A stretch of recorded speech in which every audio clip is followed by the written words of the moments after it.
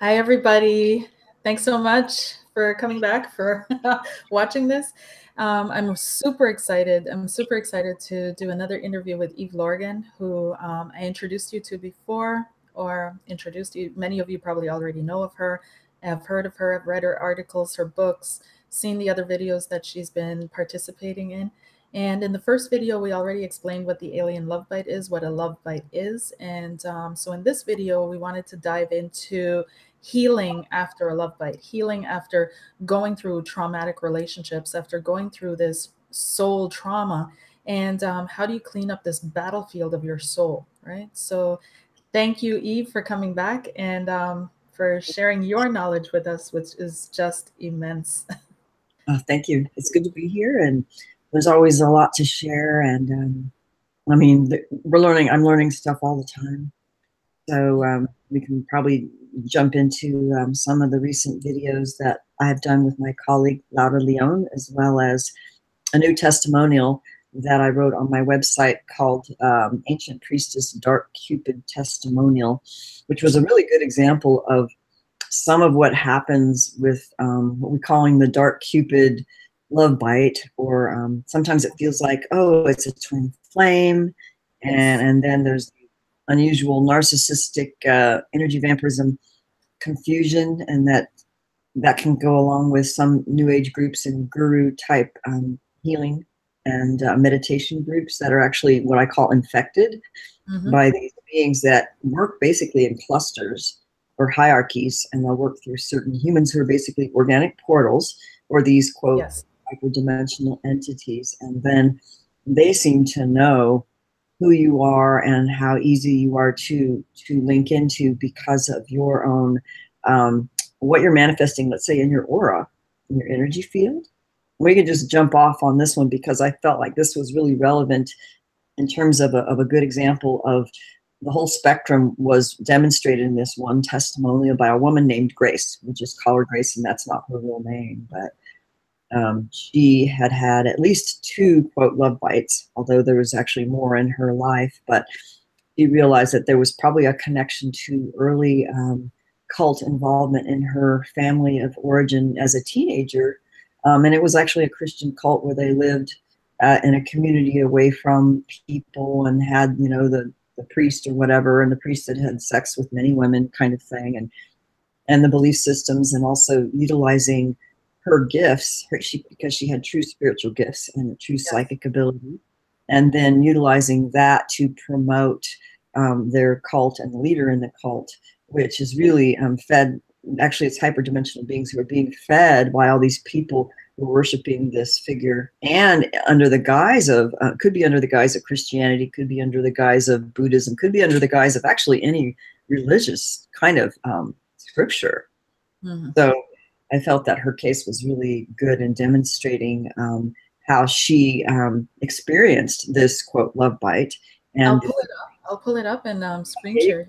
Pull it up and maybe do a screen share so that if someone wanted to, because it is actually a long one and there's a lot of um, a lot of her own words and experiences, which I know it's a lot to go through for someone who maybe not like to read. But I did do a, a preface to that, where there's an introduction which kind of explains what it is and what was happening and why I commented the way I did.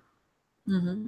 And um, I commented so that I could show, let's say, from a therapist perspective and a personal experiencer of this as well, um, the thought processes and the feelings of this experience as it's happening, like in this relationship and all the weird things that are happening the paranormal things, the weird dreams, the psychic connections and the kinds of thoughts and feelings and belief systems that are going through her mind, and then the reactions and responses of the love bite partner or mm-hmm. these other spirit guides in, in response to her belief systems and her feelings that keep this dynamic play of loosh feeding going on. Right. And that's actually what's happening on another level, which most psychologists probably would not really admit unless it was just a simple emotional vampire case of narcissism and the whole narcissistic supply kind of thing. And we can get into that as well. so let me know when you're ready. if you pull Can you see my screen? Because it's actually, it froze on me, your screen, but I don't know whether or not it's showing up on Google. one second here. And that hopefully stop. Let me come back. Okay. Yeah, now it's not. Maybe it won't do a screen share, and we'll just have to. You could refer to it if you could see it on your screen, because I can't do both on my computer. Right. I'd like to share. Um, well, I want to share this. So let's see here. Is oh, this now showing? Can you see this? I see like a several okay. images. And there we go. Okay. So that's part of it. We can just pull it up to the um, okay. the title. To the top here. So this is ancient priestess and dark cupid yeah. testimonial, and um, uh, it says here courageous, uh, profound dark cupid, false twin flame type drama with two different men, and yeah.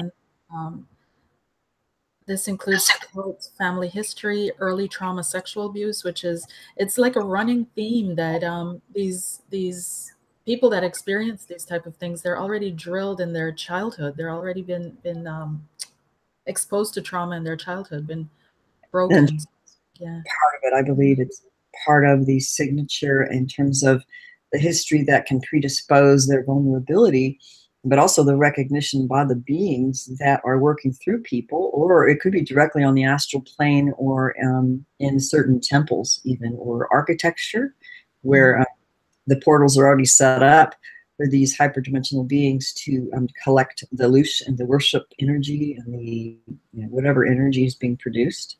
Mm-hmm. So I felt that this testimonial was good because it demonstrated, let's say, current lifetime um, family history, the early childhood abuse, the involvement in cults, um, the patterns, but also she discovered much later, and it gave her more insights when she worked with her spirit.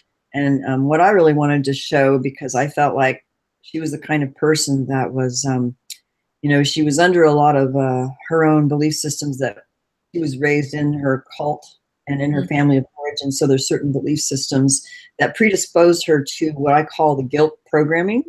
Okay. And, and in religious circles, there there's a lot of guilt programming, especially for women, to be more of. I mean, I can call it the doormat thing, where yes. Um, yes. you're just kind of groveling doormat for the master, the man, the teacher, the guru, yes. and even certain um, Eastern traditions where you should never like. Uh, you should always be less than than your teacher, mm-hmm. or or you know. Um, People kind of tend to forget that. I find that so and your devotion yeah the teacher.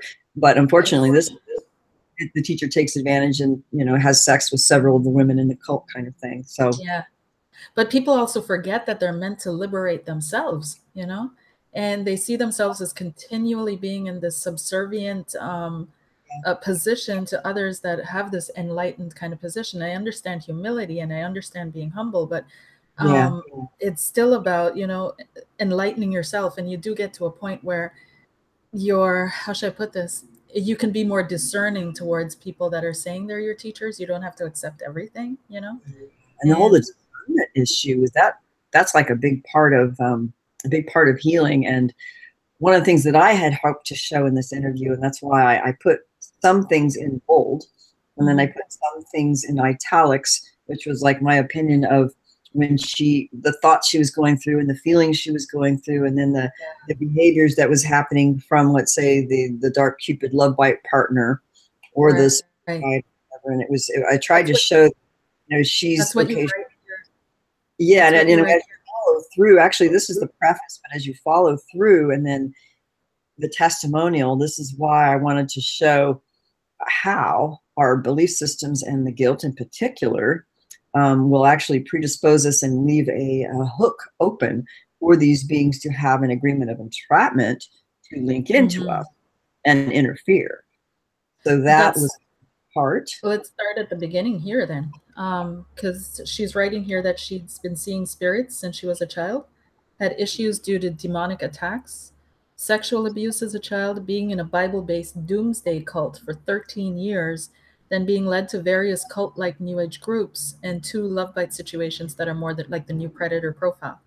So mm. you wrote in brackets early childhood trauma, especially sexual abuse, demonic interference, and cult environment as significant causation to vulnerability. Yeah. Yeah. Then you write as well that um, she, well, she writes that she begins to wonder why so many things are wrong. And you wrote, uh, questioning why fe- things felt wrong is good. Belief or some yeah. early critical judgment unwinding causes a guilt that shuts her down from taking action, telling the truth, etc. That is so true. So many women are told, "Stop whining, stop." Part yeah, like the new age. Let's say some of the new age programming would be what you call blaming the victim mm-hmm. and that the belief system or the value system that says, well, you need to be positive in order to heal. You have to just be positive and it'll all go away. And so when they start having these uncomfortable feelings and the red flags are going, they're questioning things, they're not feeling good about it, and they feel like they need to talk about it, then they feel like they have to shut down because they that's not being positive. Right. Yeah. So it's actually um, there's some kinds of programming that actually shuts you down from yeah. being able to listen to what your spirit nudging is telling you because your feelings are telling you something, your body is telling you something. And so that's something we need to listen to instead of automatically put a judgment on it, which actually shuts down the spirit's uh, communication and awareness.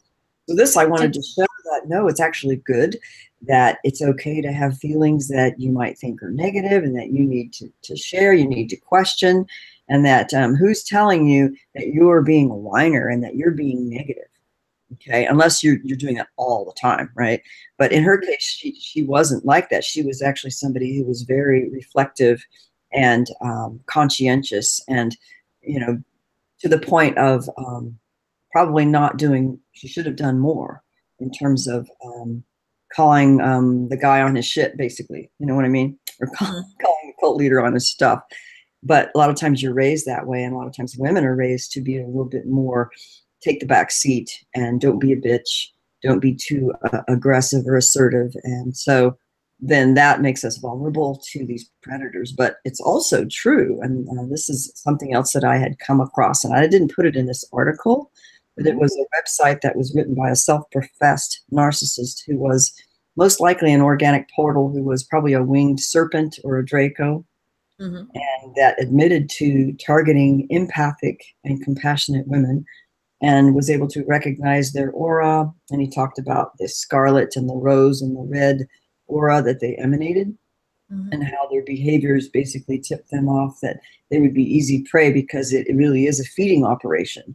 And in this website, and I'm not going to give the the author of that website, who's a self-professed narcissist, the attention because yeah. it is what they want and energy is what they want. And I, I'm not even going to bother doing that. I'm just going to say that they're all self-professed narcissists who know what they're doing and actually can explain the psychological dynamics of, for example, raising you up on a pedestal and then slowly um, crashing you down through different control and manipulation tactics, which is deliberate in order to extract loosh and emotional mm-hmm.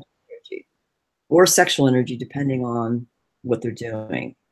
Right. So um, that's I just wanted to state that because that's a huge part of what's happening, and yes. it is a target it is a targeting. So what was happening with this woman was she's kind of like blaming herself and finding out what she's doing wrong and there was a lot of guilt pro- programming going on in her thought processes which i kind of picked up but i mm-hmm. also saw that her spirit was nudging her every step of the way to to listen and and so that she had the humbleness and the purity and the, the her spirit really working with her even though she would waffle back and forth between let's say the programming and um, the interference would would move in again and it, and it kind of goes back and forth and this may go on for years you know for mm-hmm. people where you feel like you're taking two steps forward, three steps backward, you know, one step forward, you know, whatever. You but, feel like it's also because they have, because I've encountered people and myself as well, right? But I don't really want to get into that, but um, that have, how should I put it?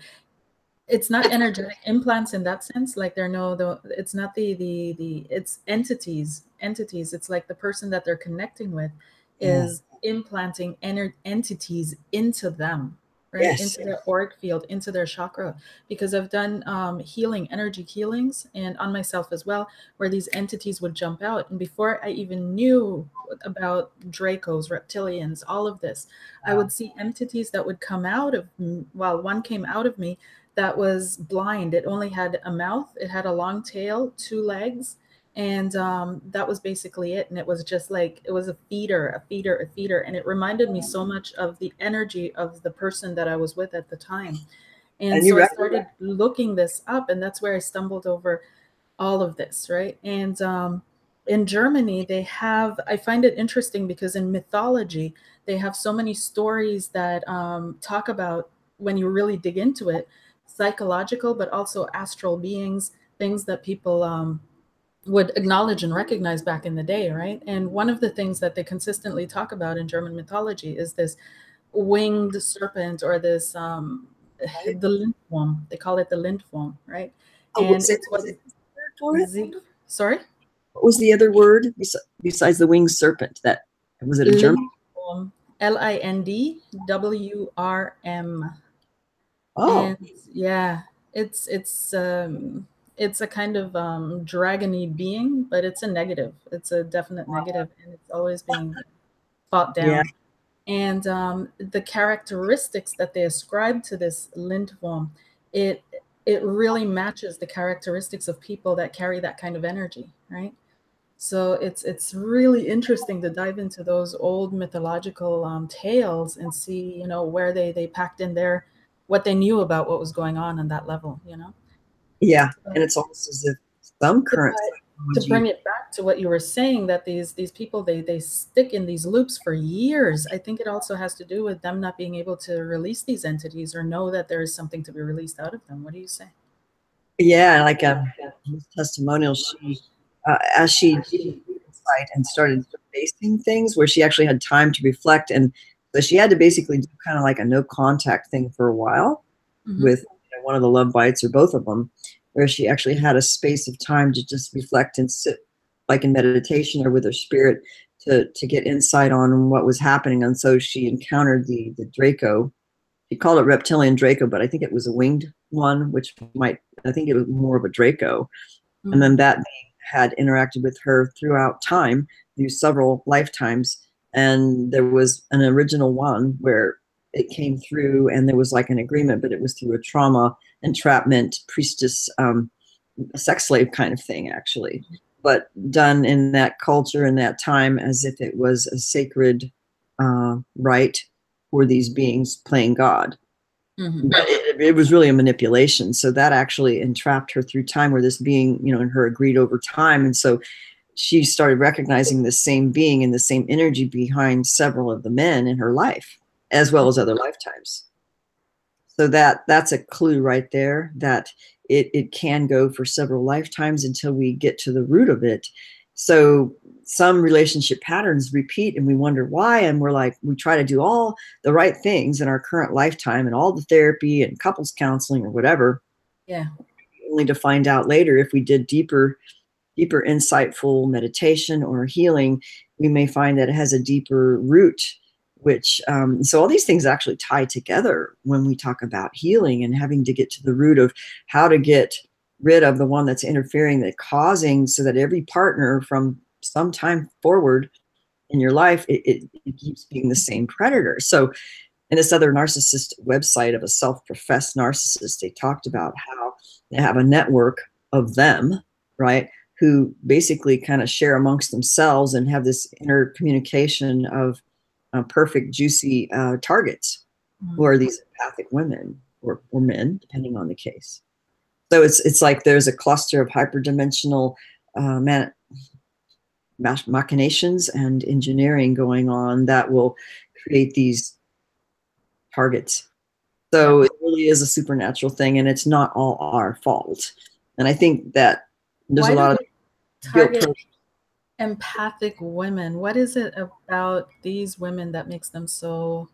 Well, I think it's the spiritual love energy that feeds the part that they've cut off from themselves that they no longer have access to. So it feeds them. And then, like, if they don't get their feeding, for example, a lot of times they'll go through um, an extreme rage and go through abuse or do things like, um, when you're your most vulnerable, they know it's time for a feeding, right? So they'll, you know, it'll be quiet for a while, then they have to create a drama, and then you open up and get vulnerable, and then they, they need more feeding, and then then they'll do a crash you down kind of emotional mm-hmm. manipulation, which like hurts you emotionally very deeply, and it's like very shocking. But they do it to get the feed because they always have to have the feed. And yeah. so it's it's the narcissistic supply of their feed that they're doing and why they're doing this. And it's crazy making for the other person because it can mm-hmm turn you to great self-doubt and, and anguish and, and weaken you to the point of, of you know killing you or making you feel like you're crazy. But we have to realize that this is very real and um, it is a targeting kind of thing. So we have to be strong to recognize the red flags and to you know basically do the no contact. When you come into contact with that energy we have to do the no contact with it or find the root of it if it's if it's on our side mm-hmm. then what we can do to take self responsibility to, to cut to the root of however it's entering into our sphere mm-hmm. so it really i mean learning about relationships and um, learning about you know what's healthy communication and um, some of the things that i'm learning over again through another modality because I have like regular psychological training and relationship counseling. Marriage and family counseling was actually my master's degree. And um, so I'm learning something from, I mentioned this therapist, her name is Jennifer Foster. She's mm-hmm. out of the UK and she's created this method called energy dynamics. Mm-hmm. And she's basically um, made it very, very simple so that even children and teenagers and adults can learn this method to have self understanding and so that how we can apply our own power needs so that um, we don't fall into patterns that are unhealthy that hurt our relationships or hurt our health like addictions or um, compulsive behaviors or being too controlling or whatever it is so we all have certain power needs as humans so that when we do things on a more deep authentic level of being which gets back into and what the taoists would say that's more um, earth power feeling centered. So it would be more of a feeling being centering as opposed to a mental figure it out kind of thing or um, needing approval or um, uh, what we do in this Western world is we're very accomplishment oriented. Mm-hmm.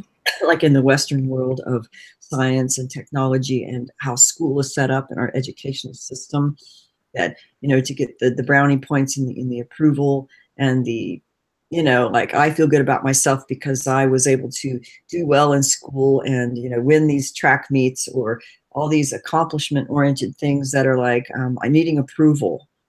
So if we can get back into our creative mode of being where we get our needs met through feeling and being okay and feeling safe for who we are and what we're doing in a more natural way then we don't constantly need the approval or the compulsive addiction to um, the mental sphere of activity because actually the demons will interact on that level like um, artificial intelligence mm-hmm. infection and manipulation which is a whole other kind of topic getting off but that will take advantage of the the mental realm so i think the more we get into our our feeling human power needs of functioning from a compassionate communication and real human instead of all in the mental realm we're we're more rooted and have more resiliency to the, the methods of how they're getting us out of our power. Right. Because out of our power we we don't um, we can't tap into the power to have the red flags awaken us to see what's happening. So we'll know when to to stop or to do the no contact or to redirect so that we're, we're not interacting with the predators and the parasites. Because they are out you know? that this that there's been a rise in in predators and not just because we know now and we're looking at it and we see it more but also because of the structure of our society that women are more left alone than they were before that there's single motherhood um, there's no like um, community especially in northern western societies right that women live together in communities like in let's say indigenous societies where they're watching out for each other where they carry on traditions stories where they recognize these things. You know what I mean? Absolutely. Yeah. In fact, it's it's it's a strategy. I mean, this is what I call. It sounds so paranoid, but it's the death cult strategy of who's uh, in the Western culture in particular, what they're doing to society to get them vulnerable for what I think is a type of takeover of spiritual energy, which is a type of life source energy. And so our human needs need to be met through natural relationship and natural community and that's something that more indigenous cultures did and even pre pre cell phones and pre computer we might have had more of those human to human interactions of even social activities that was more connected. But and then so now in our society like instead of families like living close to their their cousins and and there was always a mom in the neighborhood where the kids can play and there was always somebody to connect with. Now they're what we called in the old days we called them latchkey kids where both parents are working and the kids are by themselves watching tv and they're off hours before the parents come home. Or they're sitting in front of the computer or sometimes they're at uh, childcare. So there's not there's no longer close connections and close social interactions that's feeding the naturalness that gives them the spiritual resiliency to connect with their true true nature of their spirit self and emotional self instead they're being connected to the internet connected to the tv or by themselves and it's it's not natural but unfortunately only people who've lived before let's say cell phones or even before computers were in the norm do we know what it was like when we were able to connect in a natural way we're society where we can get certain needs met. So what's happening is we're not getting our natural human needs met in relationships or even in families or in communities.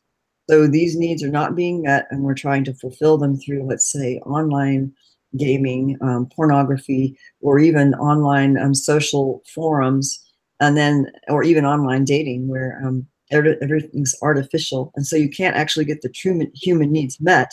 So it causes a blindness and then the ease of predators coming in and using these mediums makes it easier for predators as well yeah. so it's like um, we've normalized um, cutting off all our natural human needs and functioning which would be natural for a human to be content and safe and in this creative imaginative mode which is actually the pure spirit what i call the pure original spirit mm-hmm. and then the counterfeit spirit is trying to hijack and take over and throw us into these other realms of being where it's not even natural. And then copycatting the originals and then feeding on the original's energy. Mm. And then um, being abusive and narcissistic and these like weird love bite things. Yes. So, and they're really good at doing this because some of the beings that are actually behind the humans who are playing this out, it's actually hyperdimensional. That's what we're figuring out, even though there is a lot to human psychology alone that could explain this. But I think if we wanted to get to the deeper root of some of these deeper cases like the one I just showed, right? The ancient mm-hmm. priest thing. And we'll get back to that. Yeah. There's a deeper cause and condition that goes back to more of a spiritual thing. Mm-hmm.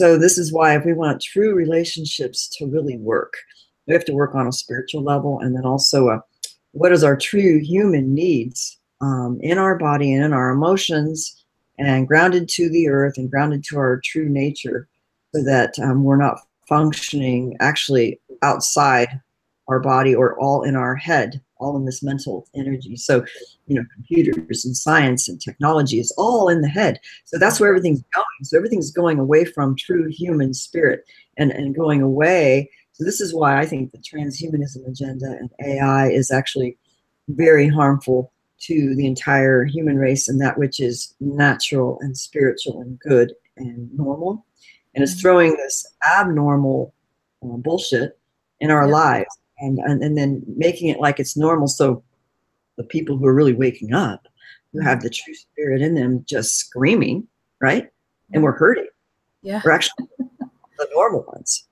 so we're in this upside down world where the abnormal is considered normal and then they're calling you crazy when you're actually um, you're seeing right. what it is and wanting to redirect and recorrect to a, an original truth. Of, of behaving and being and interacting according to a, a, mutuality of respect and kindness and communication and learning what each other's true needs are so that um, we're not starving each other out in relationships or in our families. Right. And our communities. So it, it is somewhat of a battle for you know people who've actually woken up and they want to create like communities of um because there are people even in the state that I'm in that there's um, what I call the compassionate communication circles where they're training and learning and creating groups where we can get together and do the just um, one-on-one or in a group communication of what they call it nonviolent communication where you talk about your feelings and your needs as, as a human and you strip through a lot of the false belief systems and you get down to the true root what our what our just natural human needs are and seeing each other on those levels and respecting each other on those levels and then and then think it makes it so much easier then you then you feel okay you feel like you're you're fed and as a human and you're not hurting all the time mm-hmm. but these things aren't happening naturally in our families and relationships. You mentioned that too, like this, this constant yeah. hurt, this constant pain has almost been normalized. It's been yeah. like to be anxious, to to all of this is normal, and it's not. It's not normal to constantly be in a state of like this distrust and tension and paranoia and fear and doubt, and it's it's not. yeah, and I, you are awakening are having some really uncomfortable feelings because their spirit is basically saying, Yes, yes, wake up, wake up, red alert, red alert. Well, maybe because that's true. Right. Uh, and sometimes people are a little more overly paranoid and overly controlling. Mm-hmm. And um, and I've seen that happen as a let's say a defense mechanism, a psychological defense mechanism of deep unresolved trauma where um, they're not getting their true human power needs met because they've shut off let's say the inner child that's wounded and split off mm-hmm. and then and they'll try to control and manipulate on a mental realm in order to try to get the energy needs met to, to be normalized or their anxiety goes through the roof or they can't handle reality or they go or they go into rages or they go into deep depressions and, so they they may do addictions of various kinds or sometimes they're just like controlling in everything they do in their life and that's actually part of the the, the disease yeah. So it's like we have to learn how to how to get our normal power needs met as humans. And then once we know what that is, we can function better in our relationships. But we have to honor each other that way. So, what does healing constitute to you? And I'm bringing this up because I, I um I had this discussion with a friend of mine who was a psychologist who was telling me like in clinical healing, the idea is to get you functional again, to be able to function in this matrix, in this society, to be able to go do a nine to five job and be able to function, right? But is that really healing? Not necessarily, right? So what are we talking about here when we're talking about healing? Because maybe it's it's some people have these like idealized forms of healing where once they're healed they're always going to be happy 24 7 they're never going, to have you know any more challenges in life. Is that what we're talking about? I don't think so. I think the like if we go back to how can we maintain our functionality let's say in life because you know there are some bottom lines that we need like we need um, shelter food water and we need to feel safe relatively in a food and shelter and, and be able to make a living so that we're not out on the streets or being abused as sex trafficking or whatever so there are some basic functional needs that need to be met that many people are actually struggling just to get those basic needs met mm-hmm. and so the, the very first thing that we need to establish as a baseline before we can even do all this higher healing stuff yeah. is um, safety you know shelter um, getting enough nutrition to uh, to be able to think straight be able to get enough sleep to function to to work or seek work or have enough energy to, to strategize on what you're going to do. So like the basics have to be met and that's like a basic power need that even animals have right? So a lot of times those things are um, we're not even actually recognizing that, that like the number one in therapy for people that i'm working with is um, a lot of them they want to know the information. There's a common thing. It's let's say they know they've been abducted by aliens or they know that they have missing time in their childhoods or uh, they were in some project and they know that there's like years where they don't remember or large segments where they don't remember and they want their memories back and they, they want their story back but they're not ready to go on the feeling level of what it means to be functional and safe on, on not just a physical level, but on an emotional level. So, emotional safety has to happen before you can go to the next step. And it's kind of like Maslow's hierarchy of needs, where you know, the bottom was bottom one is the you know the food and shelter and the next one is like feeling safe and secure and the next one is maybe some social needs and the next one is something else until you go for the higher uh, self actualization. So a lot of us are kind of struggling even to get the basic human needs and then getting the emotional safety because the emotional safety is something that um, doesn't often happen certainly in a love bite for example or, or if you're with somebody who's a psychic vampire or a dark cupid thing what we realize is um, there's there's no emotional safety so when there's no emotional safety your brain's going to shut off. You, you may stay in amnesia and um, your spirit won't be able to get through to you until there's enough of safety of listening to create a change to create safety. So a lot of times we've normalized a lack of safety in relationships by normalizing let's say being a doormat or um, having someone dominate it and control us and treat us less than who we really are and normalizing that in the job let's say with your boss or uh, which is close to slave labor right and extreme disrespect and and in relationships depending on your culture and the relationship that so we have to we have to establish a mutuality of respect and safety which for what i realize is a lot of us weren't even getting that. And that's why we weren't getting our, our power needs. We weren't able to go to the next level of any kind of self-actualization. Then we were falling into predation and illusion and falsehood and and falling into these traps of these hyperdimensional beings that were actually using us to be their puppets to yeah. promote cult and their belief system and their chat, whatever it was. Mm-hmm. So it was like, wow, you know, the whole emotional safety and the physical safety. And so, how can we feel safe emotionally? Mm-hmm. How can we feel like we're understood or that we matter or that we actually are of value to someone else? Yeah. And that's huge. A lot of times that's not even happening in a, in a marriage okay. And then and so i have people saying why is this happening? And i'm like let's look at this. Let's look at this. Well did you know that this here is not happening? So how can you expect to be self-actualized when when this you know you're being in an abusive relationship with a with an addict who's who's like hosted by a, a reptilian? And, and why are you still in this relationship? You know that you can't go anywhere until you deal with this first. But then they believe they have a karmic connection to this person right? And they're yeah, to- that's right the illusions and the belief systems of and this is what i that we have to go back and look and take it apart and say wait a minute what are you believing right here? Which why in that testimony i broke everything down in a way that probably was long right? Long and very detailed. And i said wait a minute what is she believing here? Um, what is this entity doing in response to what she did when she acted on the red flag? And how they do the counterattack. And so we're working with it's basically a war until the spirit is sovereign and says, No more, I'm in control, I'm setting boundaries. No. Mm-hmm. And um, sometimes we have to say no. And then once we give ourselves the respect and we cut off the dysfunctionality stuff, and then we can start building the safety so that we can start attracting and having the, the better relationships and the better levels of healing. So it takes time really to even understand the process because many that I run into, they're they're following belief systems. They keep falling back into belief systems that are actually falling into traps. That are disempowering. Absolutely. Yeah, they don't really know that, oh, this is a trap. This is a yeah. trap. Why are you believing this is your twin flame? Why do you think you have to even have a twin flame? Um, why do you think you even have to have a boyfriend or a husband or or a wife?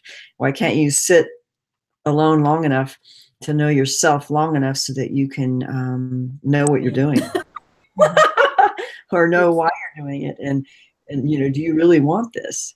Yeah. Um, so it's it's like pausing long enough which is why in this grace testimonial she actually took time to pause where her spirit could actually show her. And, and through time she was able to um, gain several steps forward as opposed to backward and finally get a handle on this and reach more and more levels of sovereignty. And it's a gradual process. It's not all at once. And and as that happens then then we have better relationships. So at some point we, somewhere that I, it's where we derive our sense of identity from right? And that men derive their sense of identity through their work their job their um, successes their career but women derive it through their relationships right? And through the men that they are they're in relationship with. So it's kind of like it's not just about security, it's not just about safety when we enter into relationships with men, it's also about our identity, right? And how we perceive ourselves, how we want to portray ourselves, right? Yeah, and that's like also Maslow's hierarchy of needs, where it's like, um, you know, above the you know safety needs, there would be the social needs, and then the identity, who I am, and then maybe the self actualization, which is much more independent um, but yeah, with women, we, we tend to define ourselves through our relationships because we're very community and connection oriented. It's it's our nature to be actually see the whole. Uh, a lot of times to see the whole and the interactions and the connections whereas men can be more they're really good at being focused out in the world and more linear in many ways and more self-focused and identified according to their one career their one path and and they're good at that because they can they can stay focused and not let all this other stuff kind of get in their way and so they're strong that way but they're also blinded in other ways whereas we can kind of go all over the place and lose our focus yeah. by not being stabilized emotionally because we're not feeling safe or our identity need, needs aren't being met because you know women are like okay so I identify with my career and my relationship but what about when i'm a mom and i don't have the energy to do the career and the kids so one or the other has to go and then you end up burning the candle at both ends and then you lose it all mm-hmm. and so this is what happens to women who've either given up a career for having their children and then end up with a divorce and then losing their children and their career and their income earning potential for the rest of their lives and then have to rebuild you know in their 40s in their 50s sometimes if they're lucky they can rebuild in their 30s yeah. and then so so it's like uh, we didn't have anything like where's the identity so these identity needs are not being met because they don't know where to meet these because these needs aren't being met anymore because there's so much shifting going on so that's that's like if we can get back to a deeper root then we don't have to be identifying with maybe the man that we married or whatever. Like um are my my screen froze, so I don't know if you're hearing me if we got cut off. Oh, I hear. I hear you. I don't know, did the sound cut off too? No, sound is there. I hear you. Okay. Yeah. Because it you know reminded me of something and now I, I lost my train. I'm just gonna go back to the article here, the blog post that you shared, the um, ancient priestess. And Ooh. one second because okay so um da, da, da, da, da. where was it there was something i wanted to bring up one second bear with me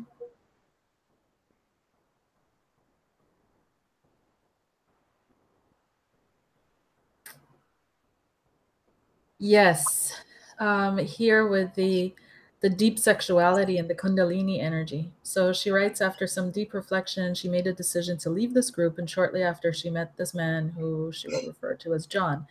And you write, deep reflection is a good sign that her spirit is leading, questioning, and trying to surface to break through denial and programming. So um, I think um, I want to talk about that. How many people like they have these red flags, they feel these red flags, but we go over it so easily. We just ignore them so easily, right? But that's your spirit sending you little like hello, hello. Yeah, it's so amazing how like not see what's right in front of us in awareness mm-hmm. that our spirit is actually communicating with us, trying to uh, tell us in as many ways as possible, and then we override that belief systems or guilt feelings or programming and so and also how she was also being interdimensionally uh, manipulated so that when she let's say cut off contact and questioned this thing something else hurried up and tried to take its place which is yes. classic it's classic when let's say you break up with one let's say love bite or whatever and then another one enters your sphere like i've had people tell this to me who have been in my book all, all the time actually where they cut off contact and they questioned, you know, what was going on. Mm-hmm. And then within, you know, like days or, or weeks, um, then several enter their life and they're they're also predators that it's as if there's an interdimensional thing trying to link back in. They lost their source, so they're linking, they're trying to link back in. And so there's a name for this in, in some cult circles where they call it out of the frying pan and into the fire programming. So they'll say out of the fire would be like, oh, you woke up to this dysfunctionality and you want to get out of that program or that relationship or whatever it is. And then mm-hmm. so you go out of the fire and then out of the frying pan, right? Which is the right. heat. And then to the fire. So you go from, let's say, one cult leader to the next, or one predator to the next, or one situation to the next, which is the same pattern, right? Right. So that's what we want to avoid. And we want to cut it off at its root so right. that we can recognize it every time it shows up. And and she did admit to, you know, going to a support group for cult people, even though she admitted that she couldn't actually go into detail about what was really happening on these quote hyperdimensional levels. or Mhm. maybe even the kundalini thing which is a big part of a lot of this dark cupid new predator stuff Yeah. That because they they're able to access or they're maybe your energy is more accessible Mhm. and it and i think they can activate the kundalini and they have a way of being able to do that i mean that's what they're good at why like in the old days the vampires could be obsessed and then they could activate that energy and you're like under the spell right Right. and it's because they can access that energy and it's very blissful but it's also draining and it also links you to them very powerfully and and that's why it's uh, even when you break up let's say you still feel them you're still Yes. drinking you still Still know what he's doing. You still know where he's at. because they're still linked in and this was something that was actually um, and they can still drain you even though they're not connected to Yeah. talking to you, not doing they can still drain through that link. Yeah so it's like, like you're still like linking in pilfering like through your bank account you know they they found a way to hack in and they're you know energetically hacking in. So we need to find out you know where they're hacking and how to close off those hack lines Mhm. and, um, and it's not all about i mean i don't think it's all about somebody else healing the other person or you know getting No. a clearing and, and i know that those can be helpful along the way but why i wanted to share this testimonial was really that this woman um, she had enough of her own awareness and listening to her spirit and she had the qualities and this is what i want to if we can even see what that is what are those qualities of the Yeah. ability to hear and be open to what your true spirit wisdom is uh, showing you and that you're aware of. And what is that? Because I think in her case, she was like humble Mhm. and she's had this purity and she also had this energy. She had natural gifts. And but she also probably put herself down more than she should have um, as a woman, which a lot of us do as women anyway in certain cultures. but she had the the purity and the openness and the ability to be humble enough to listen. And um, so sometimes what I see that sabotages that is um, what I call the over intellectualization and the arrogance and hubris, which I see actually in some occult circles Mhm. where I mean, some people can call it whatever they want to call it. They can call it Illuminati or they can call it whatever it is. But if there's too much intellectual arrogance and linear thinking and thinking they know it all, uh, in could be they, they're a psychologist, could be a scientist, could be anything. But sometimes that actually blocks the awareness of what it what you need to do to link in with that spirit awareness and power so it can build sovereignty. So you know, even in the old Christian circles, they would say, "Well, repent." You know, well, what does that mean? But that that sounds, you know, super religious. But it's it's it's a humility and an openness by still standing strong and being still with how's your spirit going to communicate with you so that um, you can take that information or that awareness and then redirect. So I like to call it my um, my spiritual GPS. I think you're you're you're you're hitting on something here that is so vital and so important. I'm gonna stop the share one second. Okay. You're you're you're like this is one second here. Coming back. Yeah, I was Okay. like, so it's you saying that it's um, this over intellect intellectualization, this this um, intellectual arrogance, this Yeah. linear thinking that blocks awareness for spirit to build sovereignty. Right? oh yes, and this is what is this is what is needed to heal it's for your spirit it's not your ego mind it's not your mind or your head making a decision oh i'm going to heal or i get it now i understand it now it's the spirit returning to you coming back to you and that is a grace it's a gift you can't just you know, determine it yeah, like over the river and through the woods to grandmother's house we go. I mean, we use that as a metaphor, um, like if we have to go over the river and through the woods to get to grandmother's house, then we need to be willing to go over the river. And sometimes that river is a little bumpy. Sometimes it's smooth. Sometimes all it takes is jumping over a few rocks. Sometimes you got to have somebody help canoe you over. And these could be our, our blocks, which could be belief systems. It could be trapped emotions and pain and grief and rage. And it could be any number of things that is, um, you know, maybe blocking us from being able to hear more clearly and to connect more deeply with something that's actually much more human. And um, sometimes, I mean, this is something that I'm learning all the time because I'm not all there yet. Believe me, I have a long way to go in my own healing. Okay. I have to do that. You know? Because the more I learn, the more I feel like I don't know anything sometimes. Mm-hmm. And I'm like, whoa, you know? But almost the more human we need to be in a, in like a real basic way. Um, like listening to my tummy. Mm-hmm. What is my tummy telling me today? What is my gut telling me today? What do I need to feed that that baby, that little girl, that teenager, the adult, so that I can get those natural human needs met in like a really basic way, mm-hmm. so that I can be on a higher level of awareness for the next step. And, and so you're bringing up something else again, which is you know I try to explain to people how like far away they are from making true authentic gut decisions right they don't even realize it anymore you know they walk into a store and they buy the pizza because that one's cheaper. They buy the this because it's on sale. They buy the socks even though they don't like the color because it's practical. And so they make all these intellectual decisions for every little thing in their lives, including their relationships as well, right? Yeah, like and, writing the list down and um, and yeah, but feeling of, of joy of like, oh, I like that color, I'm just gonna get it, you know? it's like that's what we color. Yeah, or you feel like a, a, certain color of fruit and then you have to eat like mangoes for three weeks. Yeah. and you don't know why you know? Or sometimes it's, it's our body telling us we need that frequency.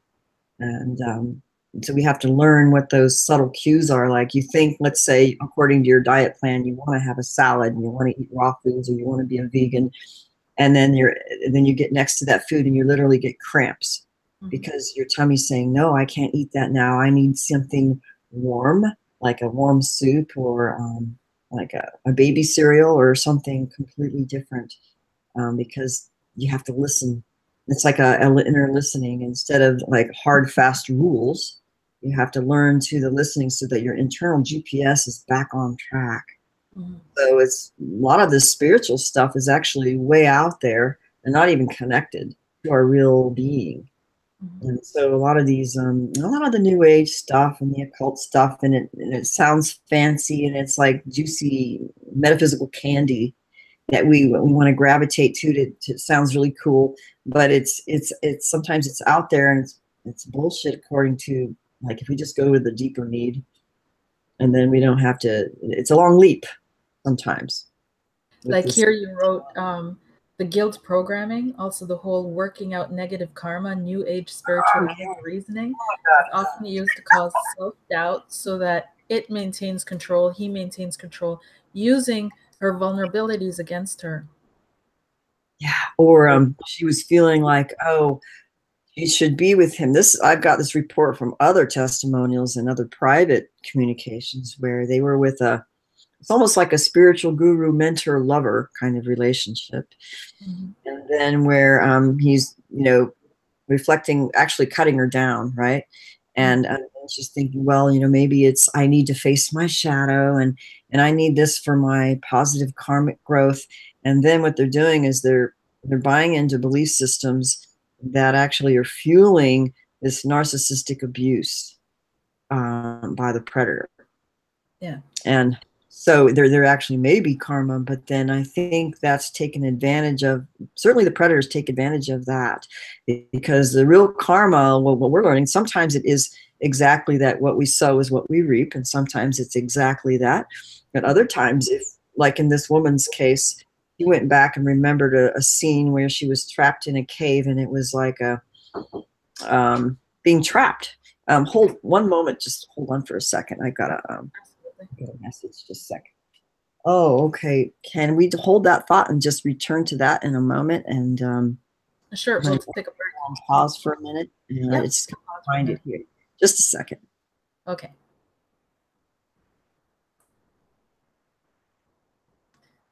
We'll be right back, guys. Oh my gosh. I this she has so much information. It is just mind blowing, mind blowing. But we'll be right back.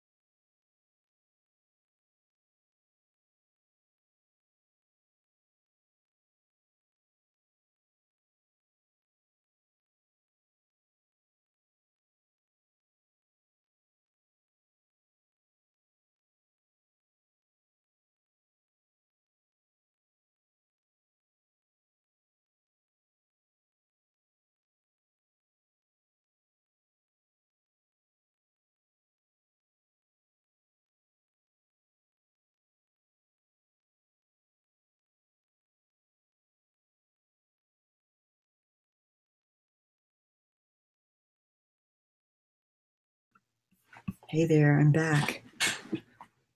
Did you take a break too? Live. We're still oh, live. I had to answer a call, and I, I, it was my son, and he needed, yeah. Oh. But hey, it's a taken care of. We'll just go back to where we were, where we were. Okay. Uh, sorry about that. no worries. It's no the time everybody calls. So. Yeah. And it's funny, my clock is not working correctly on my um, computer. Really strange. But um, yeah, I can't tell the time. okay. Um, so I'll get back to the guilt hook. We're talking guilt programming, guilt hook. And oh, the karma thing. And the karma thing, yes. yes. And sometimes, like, oh, I think it was back at where she realized there was a incident in a in a past life, which was one of the first lives that this Draco entered the scene, mm-hmm. and it mm-hmm. was some kind of forced imprisonment, uh, basically repeated rapes, but that was like an agreement to do these sexual rituals for these gods. That was imposed a belief system that she was helping them or doing something good. Like uh, many of these priestess things, and we talked about this on another video, by the way, which we could mention that Lauda Leon and I did a vid- two-part video about the priestess harlot program, which there are some belief systems and practices which I think women have been led to believe that um, being a sacred sexuality tantric priestess or certain priestess roles was benefiting their religion, their guru, their spirituality, or whatever. And it's really was being used, their energy was being used to feed these hyperdimensional beings and their agendas, which is actually counter to our true spiritual freedom and sovereignty. And so, in some of these karmic quote uh, incidents, it's actually an entrapment that occurred by force, where it was more of a forced agreement of entrapment. So it's not like she was bad and so she deserved to be punished, kind of no. idea. So in reality, um, some of the conditions we realize that there's a much deeper level of hyperdimensional predation and enforced karma, enforced patterning, which it, it ties into what they're forcing us, to, let's say, tricking us to believe in terms of spiritual religions or twisted scriptures or whatever. Mm-hmm. So that's why there's there's a lot more guilt than I think is necessary that fall into some of these religious, especially the cult uh, religious belief systems. So that's why um, guilt and shame is one of the biggest killers, as well as um, self doubt and um, overriding the spirit's nudgings, which with self doubt and with like, oh, but I can't because I really need to be good. I need to be the perfect woman or partner, um, or I need to be, you know, good for my church, or um, and you're trying to do your best, but really it's guilt program, and then it's actually trapping you into more predation yeah. being predated upon. So, I mean, uh, if there's anything that I've learned is that not all this karma stuff is what it's cracked up to be in a lot of these belief systems. And, and I see more people taken advantage of, especially women, but a lot of men too.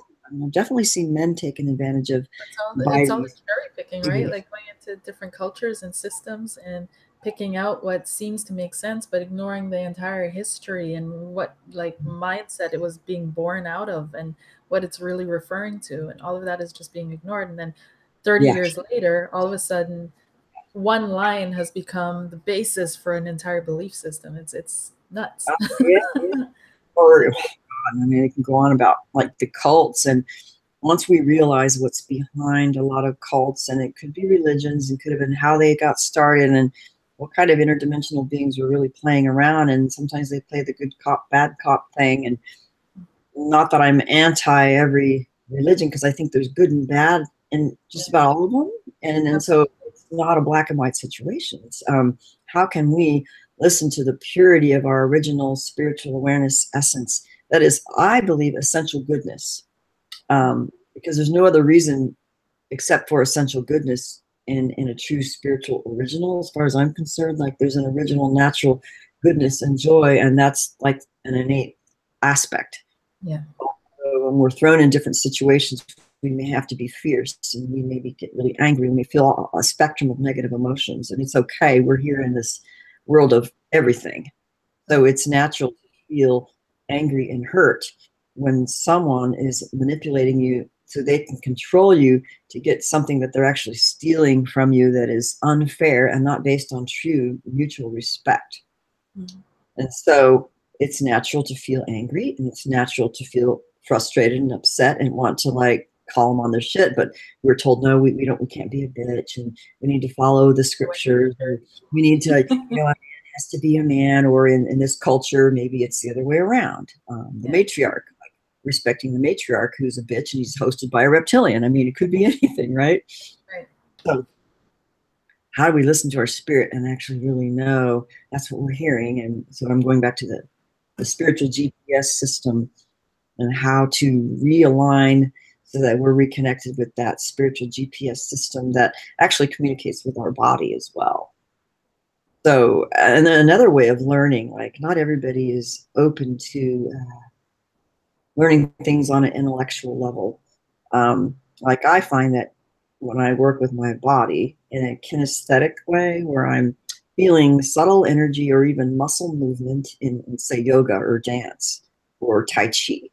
Uh, and there's certain ways that you could actually feel and connect with your spirit through listening to these subtle energies you're feeling in your body and, and movement and openings in your body, even muscle tension and muscle, how your body's structured. So your spirit, you can listen to it in many different ways, and you can heal in many different ways too. Mm. So it's a matter so of knowing what, um, what kind of methods do you have you found have been most conducive to helping people heal from this that have gone through this obviously they have to recognize right they have to recognize okay i need to do some work here but is it yeah, hypnosis no, is it body work? Actually, actually, yeah, listen to my pain. I actually had to listen to my pain instead of thinking, oh well, it's it's just normal to be hurting all the time. That's just mm-hmm. life, right? And then realizing, well, uh, the marriage is bad. You know, um, there's a narcissist thing going on.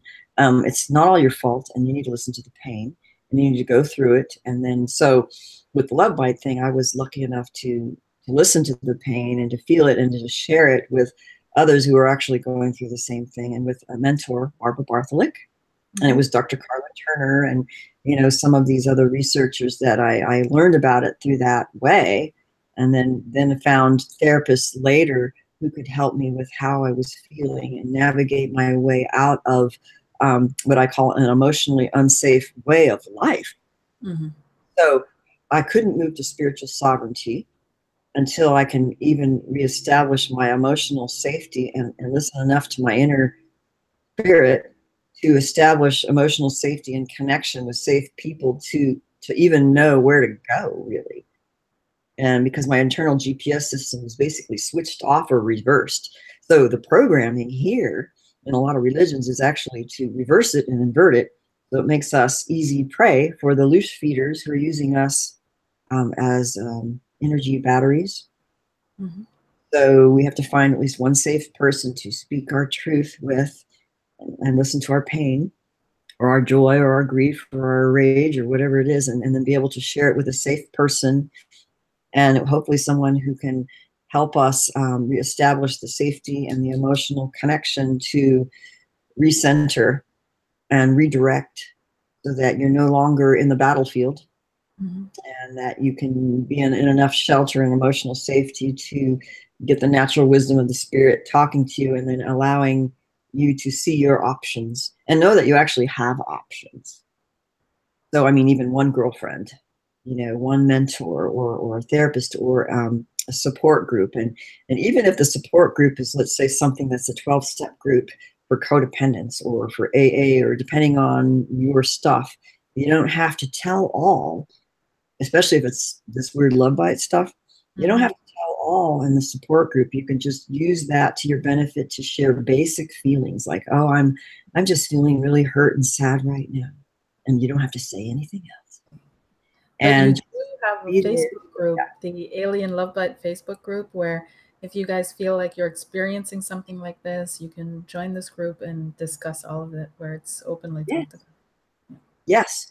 And then that's at least one thing. Actually, somebody started the group for me, and then so we have several kind of moderators so that most of the stuff's related to you know the topics that I bring up in my books and surrounding topics that people have discovered along the way that we can you know learn how to heal and empower ourselves to really listen to our spirit so that our spirit can redirect us instead of always following some leader or guru or this therapy method or that therapy method because I think I found that everybody is unique um, and one person may really excel at one modality of healing, what they find really works for them, and another person may find something else.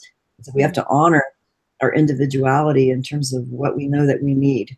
And, and if we even understand what we know that we need, we can start building and healing and, and really healing from these things because they're like love obsessions and they, you know, we feel like we lost the love of our life. And some people lose their, their their entire uh, reality is crashing because their belief systems of finding the one has been shattered. Or they think it was their twin flame and they're they're orienting this entire metaphysical belief system that they have to connect with their twin flame to do their mission for the world. And then you know i'm like wait a minute you really need to do a mission for the world in order to feel valued as a human being maybe it doesn't have anything to do with mission maybe we just need to like work with finding out what your own true needs are as a human and not having to follow these belief systems, just have a little basic love, a little basic emotional security, and let's just go from there. And let's not jump to the stars before we get some basic needs met. Um, yeah. And a lot of them are caught up in belief systems that are actually separating them from their true self. Yeah. And like, um, I mean, I see this with the concept. That can be oh, they have this mission for the ETs, and you know, to be the uh, I don't know ambassador for this ET, and you know, do their mission and to you know, bring awareness, but you know, like they're not dealing. A lot of them aren't dealing with their stuff. Yeah. And they're becoming more dissociated and more controlled, manipulated by a cult group or these hyperdimensional entities that are using them to promote their propaganda. Right. And like, maybe let's just make it really, really simple. I think to return to simplicity is the best place to, to rebuild your power and your spiritual awareness and sovereignty. Mm-hmm. Yeah. Can we just touch on this new predator? that because you did an amazing interview with a lot of. I think it's real. And, uh, well, sorry. I mean, it's mentioned within the context of some of the alien love bite, but really more in the dark side of Cupid testimonies in that book, mm-hmm. the supernatural and how that. I don't remember the subtitle. I mean, I'm my own author. I forget, but really, the new predator is, is like the step ahead of like the, the more lethal ones that are not only are they hosted, let's say by um, a winged serpent. Usually it's a cluster, uh, a cluster of hierarchy of beings or a super powerful one, and then they there might be some actually some genetic modification, or they've been part of a streamlined project through these high level um, secret occult agendas, where they might have um, the spirit of a fallen angel, whatever you want to call it, or a winged serpent in a hybridized body that's mm-hmm. been tweaked here and there over many generations and then then they have these abilities they have supernatural abilities and then they have like they may be working with thousands of people so they're generating loosh soul force spirit energy from thousands so they, they have a lot of power mm-hmm. right and they have a lot of ability to literally um, i think the, the gal was saying how she she felt one of these predator guys linking into her heart chakra and you know the love right? So the heart chakra and going into her akashic memory record so they're able to go into your own memories and reflect that back on you as if you have this deep connection. And sometimes you do have a karmic connection with these mm-hmm. but it's almost as if they're they're seeking out that information and reflecting it about to use against you to say and they're basically reading. It's like a readout. They're able to read out all these different ways that they can manipulate in and say that you know you have this past life with me and then they, they they'll pull it up and then they'll activate the energy and so you're you're kind of like under the spell of thinking that you had all these connections with them and it has a powerful meaning you have a mission together and so they're able to procure that energy and um, one of the things that Lauda Leon she explains this well, and it it goes back to I like to bring it back to simplicity. Like um, in the beginning, right? Um, there appeared to be original pure spirits in a human type of form, or actually maybe even before that. But whether it's, let's say, a pure spirit that came from the uh, there's Gnostic terms for this, but there's also maybe other terms where there's a pure spirit, and then there's like a counterfeit spirit that has taken a fallen path that is disconnected from the purity of its original essence, maybe, or it's only a counterfeit. Mm-hmm. And so the counterfeit has a certain pattern of behavior and a way of being, which um, can be distinguished against the original pure spirit. Mm-hmm. So the one with the predator is going to be operating in the counterfeit spirit, but a really, really good copy, pretending to be original and having a lot of supernatural abilities on top of it. So it's the counterfeit spirit will seek to copy, mm-hmm. co-opt, pervert, corrupt, copy out. So basically, they, they see a target, they get them activated to manipulate them, and they procure more and more of the essence till they suck them out and replace them with a copy, basically, of what they want. So um, that's the dangerous part. It's like a vampirism and then a copying out, which when combined with this whole AI thing and transhumanism is where it gets into the extreme danger of what part of that new predator is really about. So there is a technology, but there's also a supernatural element. But they've it's like they've taken it a logarithmic step ahead of, let's say, a dark side of Cupid, or just a simple love bite. And so somebody who's very clairvoyant and able to perceive true spirit versus counterfeit spirit versus they're hosted by this or they're hosted by a cluster or you're seeing these demons around them or you, you're perceiving this in, you know clairvoyant people can pick up on things in different ways different mm-hmm. people have different abilities so when you start perceiving it and then the, the whole technology thing then that's where the new predator part comes in where you see the copied out thing and they're so good at copying it's not a clone, but it's like a copy, so they can copy your consciousness. So here's an example, and I know I'm getting, I might be getting off here, but I want to give an example of something that's been observed with people with cell phones and texting and um, certain word processing programs, even on our um, Word or Excel or whatever. How um, it copies out a word. So say you text something and it finishes the word for you, especially when you're texting on your cell phone. And it's some kind of algorithm which is trying to complete it to make it more uh, easy for you to do things. But what's happening is it's copying out what it thinks the word is, what it thinks you should say. And it's another program hijacking not only your text, finishing your sentences with totally misspelled words in a total different sentence. And I'm sure there's many who experience this on their cell phone and they're just, yeah. I mean, cussing every day at the, the insanity of what your cell phone's doing, right?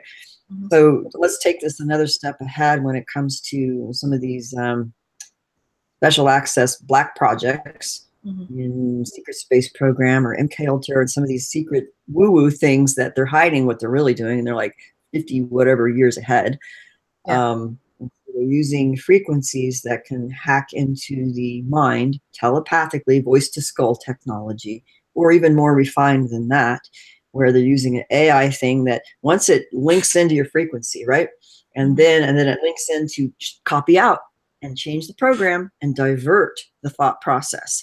So it's like what happens on your cell phone, except it it it you know it it's matching it. At first it matches and then it and then it changes it a little bit until it changes the whole program. And you think that thought's yours and it's the program copying out program in your telepathic and you think it's your thinking. Okay so this is what's happening with the copying out thing and um, this is why we have to be very very aware of what is my own thought process how am i really feeling and how i can go back to my original so that if there is some kind of counterfeit copying co-opting thing going on how can i stop it in its tracks or make it so that it has nothing to hook onto so it mm-hmm. can't copy out and change your mission in life or your original essence or whatever it is and so I think these things are happening on subtle levels. And um, yeah. you could see how people, like I said, example, and I've heard that also maybe they were they were just people looking for a family connection. You know, like they're looking for their tribe, and they why because they're not getting a social need met at the basic family relationship. So they'll join a, a cult that seems good, and then pretty soon after a while, like they're changing, the behavior, they're changing.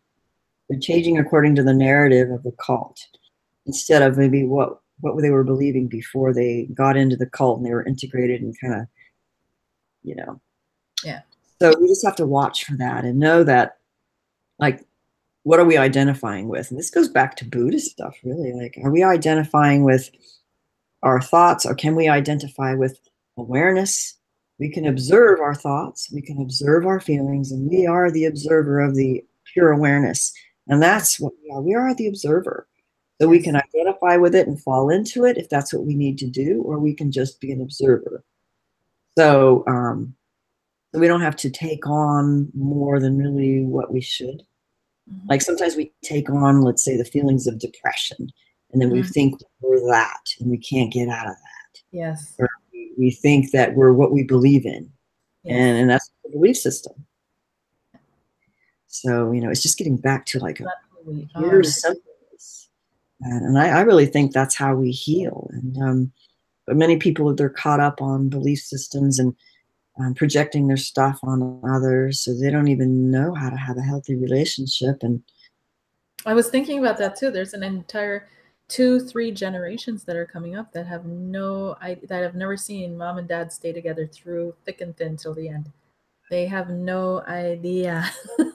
this is this is or they don't know what it's like to i mean i'm thinking that their brains are entrained there's an entrainment of brain frequency consciousness to cell phones and computers and you know what's coming off the cell phone towers and your cell phone your wi-fi and it's actually redirecting your consciousness in such a way that it's redirecting your consciousness itself away from something that might be more refined and deeper and original and, and I think don't know until like, can you recognize the copy?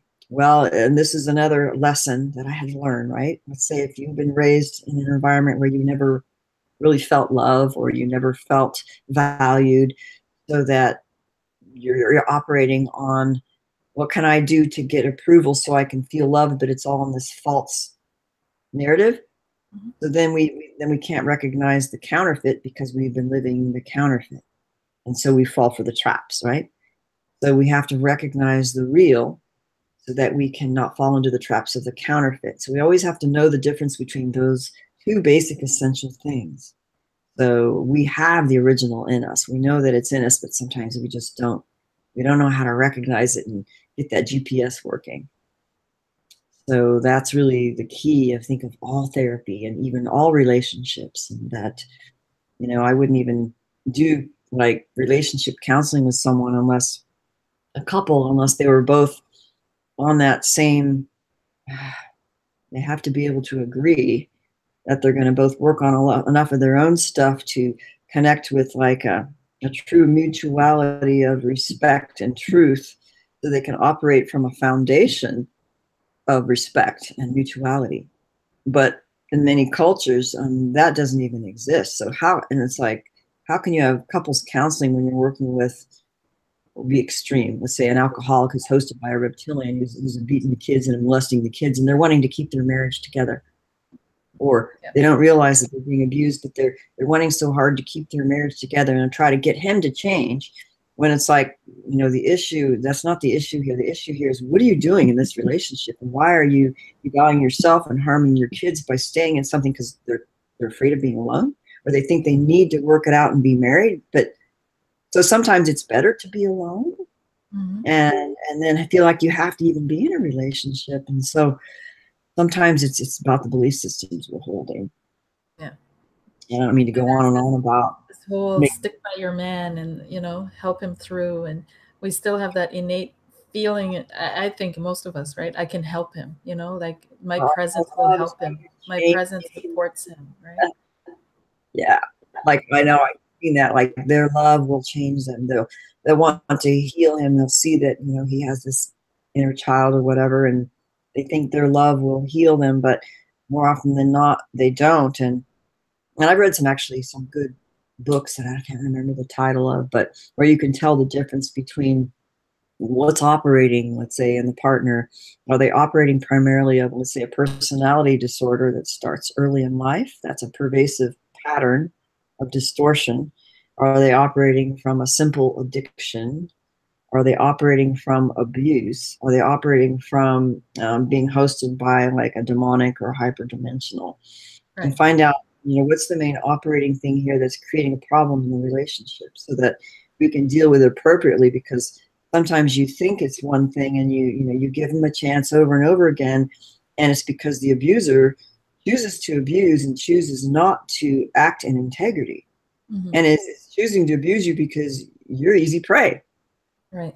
so some but this goes for men and women too, right? Like I don't want to we're both talking in the he she dynamic, you know, with he being the perpetrator and she being uh, it's, it's both ways. It's either way, right? Definitely. Oh, I've seen it both ways. And um so and that's hard. Just yeah, we have to know where they're operating from. And sometimes only a therapist knows, and we can be self deceived by our own goodness of our heart, what we want to believe and not realize that they're operating, let's say, just out of pure arrogance and hubris and, and refusal to deal with their own shit. And that's what they really need to do. Mm. And, um, and they're operating out of an addiction or uh, personality disorder. And if they're operating out of OCD, then they're not likely to change unless they really work on their stuff. And it's not your issue to help them or like women are like trying to pull like or they're trying to pull their partner into therapy and their partner has no oh, they'll, they'll go just to satisfy them for the moment, but they, they have no intention of following through and they'll just mimic and do what they can get away with. And they have no intention of changing because, because they really don't have the capacity or the will to even love or respect them. Yeah. Because it's not even inside them. And this is where, when you realize you've been narcissistically abused, your belief systems of what you thought was is shattered because it's like this person was using you as a battery. They're incapable of empathy and they're incapable of true love and respect. And it's not about you trying to be more perfect. Mm-mm. It's not your fault. Yeah. Except for not seeing the red flags and not being able to do the no contact before you like. yeah. Oh man.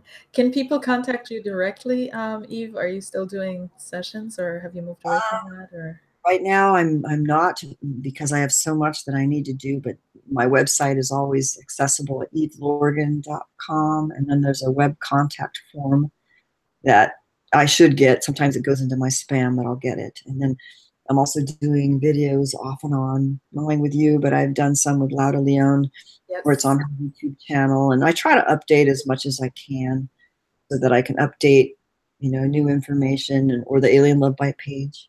Mm-hmm. Um, so I'm, I'm, doing my best, but I know that I, I have a lot that I need to work on in my personal life to, to go where I need to go and be what I need to be and to heal my own stuff. And um, it's just partying.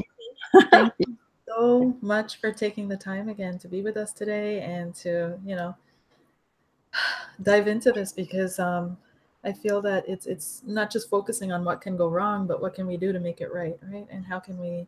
And you feel the same way, right? So I know that. So. Yeah, and, and we got to power. We do. so we need to is, is working with your spirit and working with your own more human, simple needs. If you ask me, more of a, a beingness and rootedness and connectedness by by hearing and respecting and acting on that internal GPS system. That's your mm-hmm. spiritual truth, and you may be rejected by many. Yeah. Um, because it's sometimes in the world they're they're on the false narrative, and we need to not feel guilty for not being like the the counterfeits running around pretending they're they're it. And um, I would just go so far as say that the the mainstream opinion is is the false narrative for the most part right. on a lot of things. So that don't don't feel bad if you're going to stand with the crowd and you have a different opinion and you know you can be okay with following your internal GPS. Mm. You know? One thing I also believe, and um, I'm probably opening up a whole other topic before, but one thing I also believe is that the the female or the feminine energy is a manifesting energy, right? It's a creative manifesting energy. And I feel like it's been harnessed. I feel like it's been intentionally harnessed in order to manifest whatever is harnessing us desires, right? Which is obviously a world or a people that can be fed out of infinitely and mm-hmm. on and on, right? So it's, it's, yeah. So we have to be mindful how we create, how we're being used to create and even what we're speaking, since that's a whole topic of the language spell casting and our acting out rituals or believing certain myths or narratives uh, recreates something over and over again. So we want to, that's why it's like, um, you know, stopping. It's almost like stopping and reflecting and being still so that you, you link on to the internal GPS and you be still long enough to like stop those other programs so you can redirect and get out of the program and get out of the spell. Because uh, the spell will keep going, you know, unless you disengage from that and re-engage with the real. Yes. So. Alrighty. Yeah. Thank you so so much, Eve. And I'll be watching your further um, interviews. I know you have a couple coming up. I think. Yeah, we have one coming up. Um, it's going to be really interesting uh, with Mark Gray out of France and we're going to do one that, that ties into the near death experience, the archontic gnostic um, demiurge, and how that's interacting in the NDEs and like the let's say the new predator and the dark side of Cupid and you know what we're learning on all these other levels and how we're going to deal with it, taking the, the next step ahead, which is you know the AI, and we connect all these things to the come back to our original um, true essence as opposed to being hijacked by the AI and market spirit and by the whole archontic thing, which people are starting to really recognize now. So, and, and even within the near death experience. So that that will be really interesting. All those topics combined. So there'll be several.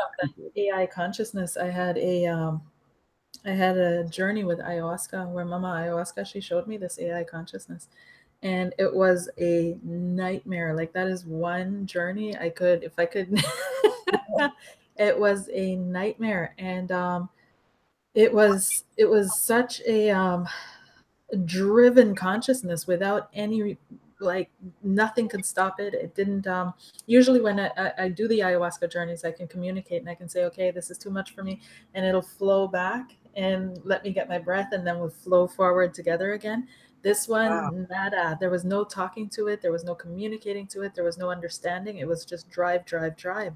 And it was like you guys are saying, it was copying the the original spirit, the original consciousness, because it was telling me the exact same message. But the way it was telling it to me was just horrific, right? It was like grabbing the back of my neck and sticking my face into what's going wrong with the world and this and this and this. And the way I usually heard about it was very loving and gentle, kind of like, you know, like this is what's going wrong and this is what we need to do, and impressing it in a loving way upon my consciousness. But this one, no, it was totally copying, but in a very, very negative way, very detrimental way. And I remember um, running away from it, hiding from it, like pulling back in my consciousness. And to pull back and hide, I had to become completely still. And there were these other beings that showed up and were teaching me, like sometimes you you can't fight it, like you gotta hide and run it. It was like guerrilla warfare. I know it sounds like way out there, but I don't care. so it was like mm. guerrilla warfare in my mind, literally, that there are certain things that I could show, right? And other things that I couldn't and um, it, it, would have to be like this constant camouflagey thing. And i would blend in with the the background of ayahuasca with the with the um, shifting shapes and colors and i would just blend in so it wouldn't see me. And um, but it was it was it was i was i was my gosh even just talking about it now i still get really choked up because i i can still feel the way i felt. And um, it was it's brutal. It's ruthless and it's real. And i'm not doing this to fearmonger but it's time we you know we all want to step out of the playpen and we all want to know what's going on out there right? We're diving into deep waters into deep oceans and there are just other beings that you know are swimming these waters and we need to know what's out there right? So this is not meant to fearmonger in any way but to give information so that okay there yeah. are other things there that we can be aware of. But I was definitely, um, I don't need to repeat that. And at the end, I heard, this is what I'm up against, right? This is what I'm fighting. right? And yeah, talked aloud uh, or um, Wayne Bush, who does a lot of the NDE research, mm-hmm. where I mean, there's yeah, that would be a whole, whole conversation, but that's that's worth noting really how that felt and that whole experience because I think that's very real. Yeah. Yeah. yeah. Well, thank you for sharing. So, thank you, Eve. I'm sure you'll be back. I hope you will be with a part three eventually further down. And um, but we'll be following you for sure. For sure, I will be. And thanks again so much for um, coming back and being part of this. Okay, great. Thanks for having me. All righty. Take Bye. care. Bye.